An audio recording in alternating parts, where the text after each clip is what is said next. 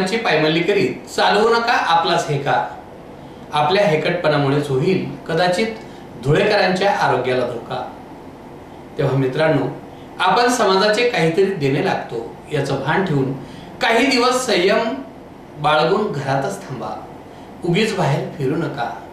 जान है तो जहान है. जान है तो जहान है. भारत को बचाना है क्योंकि मेरा भारत महान है. आपले शहर आपला आवाज. सिटी चॅनल बातमीपत्रात आपले स्वागत. सुरुवातीला एक नजर ठळक घडामोडींवर.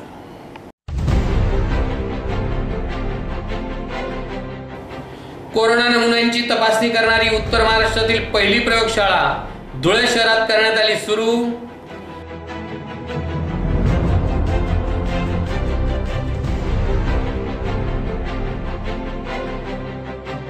संचारबंदी काळात रस्त्यांवर फिरणाऱ्या टवाळखोरांवर वाहतूक शाखेने केली वाहन जप्तीची कारवाई.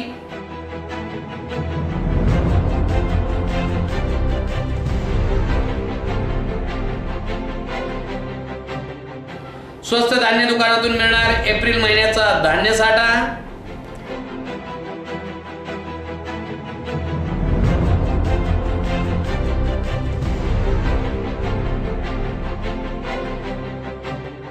संचारबंदीत हॉटेल्स आणि दुकाने सुरू ठेवणाऱ्यांवर आझादनगर पोलिसांनी केली कारवाई.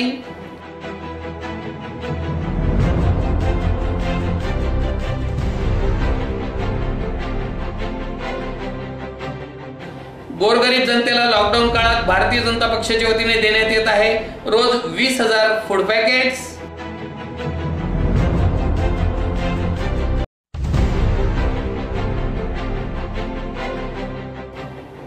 आणि कोरोनाशी लढणाऱ्या डॉक्टर्स आणि पोलिसांना शहरातील सामाजिक कार्यकर्त्यांकडून करण्यात आले मास्कचे वाटप.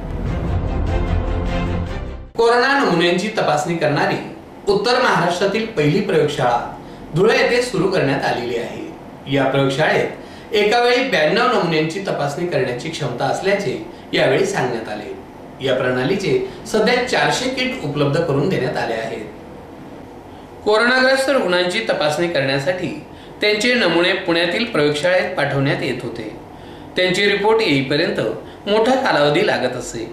परंतु आता आपल्या धुळे शहरात उत्तर महाराष्ट्रातील पहिली कोरोना नमुन्यांची तपासणी करणारी प्रयोगशाळा सुरू करण्यात आली आहे. याविषयी सविस्तर माहिती देताना डॉक्टर राजकुमार सूर्यवंशी यांनी सांगितले की श्री भाऊसाहेब हिरे शासकीय वैद्यकीय महाविद्यालय आणि रुग्णालय येथे विषाणू संशोधन व निदान प्रयोगशाळा सुरू करण्यात आली असून या प्रयोगशाळेत कोरोना विषाणूंच्या तपासणीस सुरुवात झाली आहे. आतापर्यंत चौदा रुग्णांच्या नमुन्यांची तपासणी करण्यात आली आहे. या चाचणीसाठी साधारण आठ ते दहा तास लागतात अशी माहिती यावेळी त्यांच्याकडून देण्यात आली. पेशंट दाखल झालेला आहे आणि साधारणतः आमच्याकडे सतरा रुग्ण आता दाखल आहेत.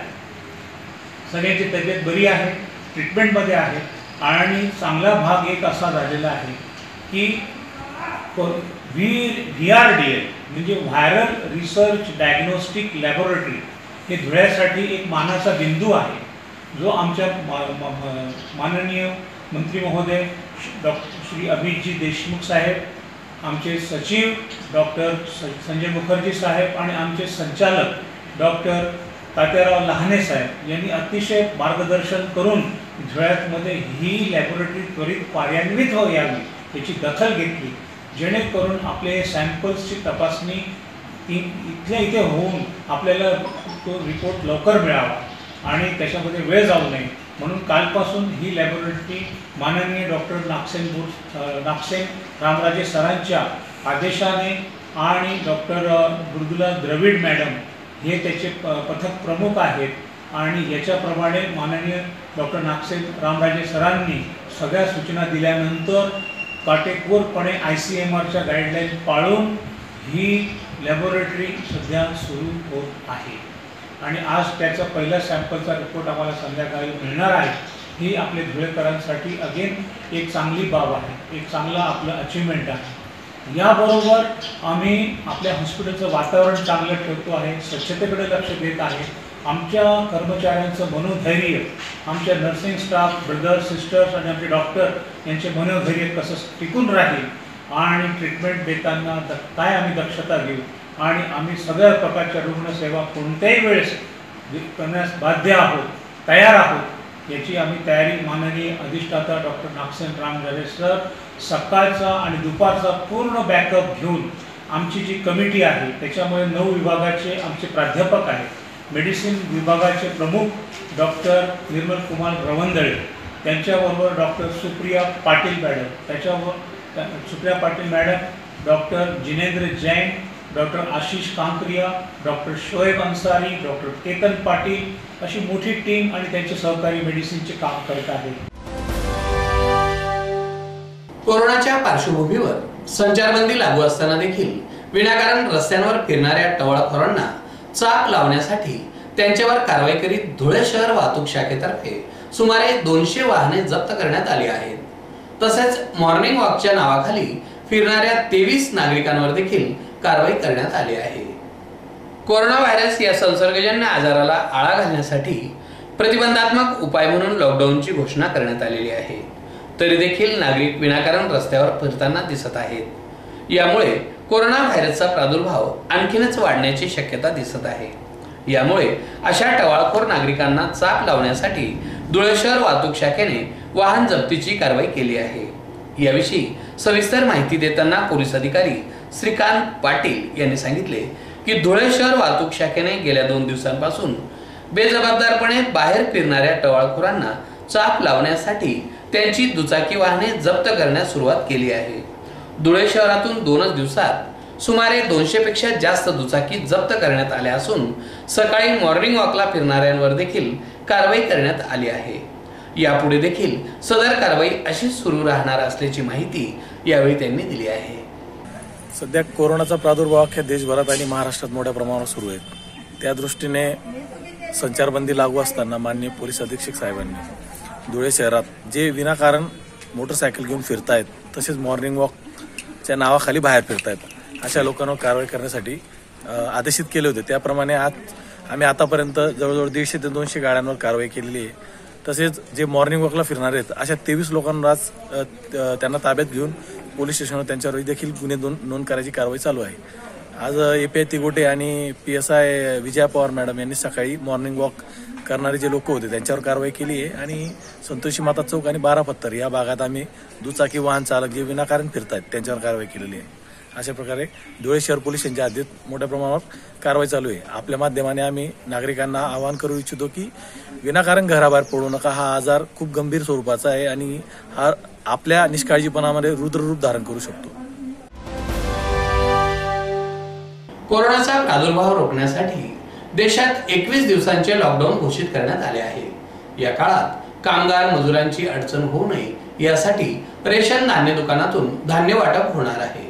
यात केवळ एप्रिल महिन्यांचे नियमित धान्य मिळेल अशी माहिती यावेळी देण्यात आली. याविषयी सविस्तर माहिती अशी की कोरोनामुळे सुरू असलेल्या लॉकडाऊन मध्ये सर्वसामान्य जनता कामगार हातमजूर यांना अडचण होत आहे. म्हणूनच शासनाने स्वस्त धान्य दुकानांमधून रेशन धान्य वाटप करण्याचा निर्णय घेतला आहे.